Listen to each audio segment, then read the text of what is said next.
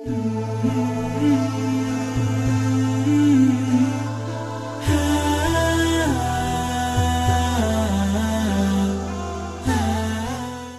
اللہ الرحمن الرحیم۔ اس روحانی پروگرام کی پسندیدگی پر ہم آپ کی شکر گزار ہیں۔ لیکن بعض بہن بھائیوں کی جب کال آتی ہیں تو بڑی حیرت ہوتی ہے کہ ہم مسلمان ہیں، اللہ کو ماننے والے ہیں، لیکن اس قدر مایوسی جبکہ ہمارا رب تو یہ فرماتا ہے، لا تقنطو من رحمت اللہ اللہ کی رحمت سے کبھی نا امید نہ ہو۔ پھر یہ مایوسی کیوں ہے؟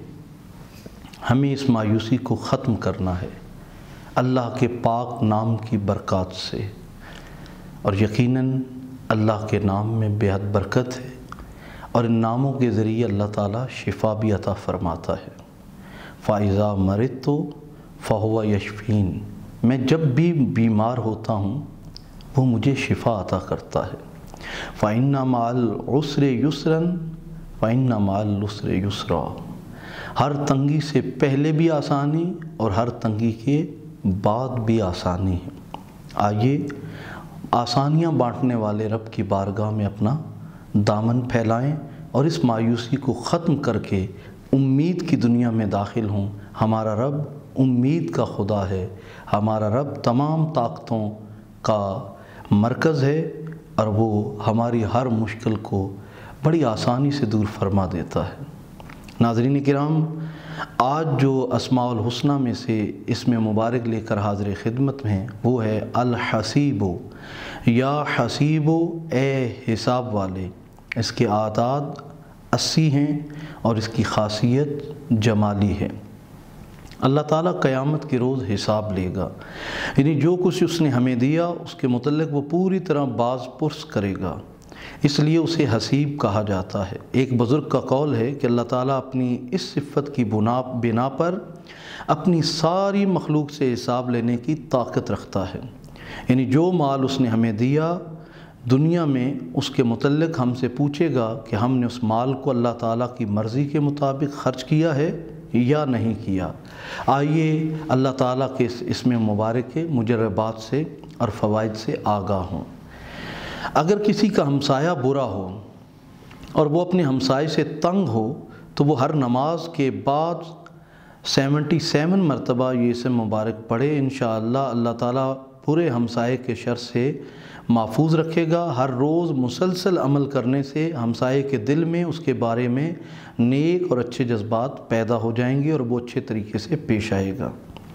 اگر کوئی شخص قرضہ لے کر نہ دے اور پریشان کرتا ہو تو قرض واپس لینے کے لیے اس اسم کو آٹھ ہزار مرتبہ روزانہ چالیس دن تک پڑھیں اور آخری دن پڑھائی کے بعد اس اسم کو ایک کاغذ پر گیارہ مرتبہ لکھیں اور تعویذ بنا کر کسی درخت کی شاخ سے لٹکا دیں، انشاءاللہ قرض وصول ہوگا اور کسی قسم کا نقصان نہیں ہوگا۔ اگر کوئی شخص سچا ہے مگر اس کے خلاف خواہ مخواہ تفتیش ہو رہی ہے۔ تو اسے انکوائری سے بچنے کے لیے اس اسم کو یا حفیظوں کے ساتھ ملا کر پڑھنا چاہیے یعنی یا حفیظو یا حسیب ہو اس کو آٹھ ہزار چھ سو چار مرتبہ روزانہ چالیس دن تک پڑھے، انشاءاللہ انکوائری ختم ہو جائے گی اور پڑھنے والے کی ہر لحاظ سے حفاظت اور بجت ہوگی۔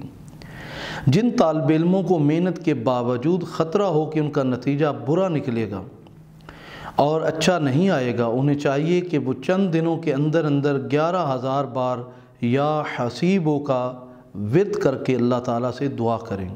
اللہ تعالیٰ خیر کر دے گا اور نتیجہ اچھا نکلے گا۔ اگر کسی کو فکر یا غم یا مصیبت کا سامنا ہو تو وہ حسب اللہ و نعم الوکیل کی کثرت کرے۔ اللہ تعالیٰ خود اس ظالم سے اسے محفوظ رکھے گا اور اگر جنگ کے وقت اس کی تلاوت کریں تو اللہ تعالیٰ دشمنوں پر غالب کر دے گا۔ مرزا محمد بیگ نقشبندی فرماتے ہیں کہ اگر کوئی چور، حاسد، ہمسایہ یا دشمن سے بچنا چاہتا ہو اور ان سے کہ اسے نقصان نہ پہنچے تو اسے چاہیے کہ ایک ہفتہ صبح و شام ستر ستر مرتبہ حسبی اللہ الحسیب پڑھے اور جمعرات سے یہ عمل شروع کرے، انشاءاللہ سال بھر تک ہر قسم کے دشمن سے محفوظ رکھے گا۔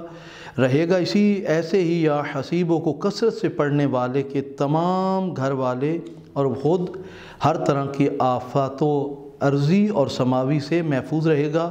اللہ تعالیٰ اپنی حفظ و امان میں رکھتا ہے۔ اور اس کی حفاظت کی جاتی ہے۔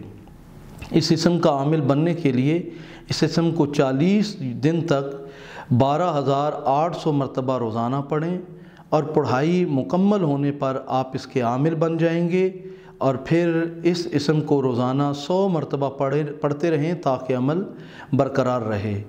اس کا نقش اور اس کے تعویذات حاصل کرنے کے لیے سکرین پر موجود فون نمبر کے ذریعے آپ ہم سے رابطہ کر سکتے ہیں یا حسیب ہو کہ اللہ تعالی ہمیں بھی فوائد حاصل فرمائے۔ بہت شکریہ۔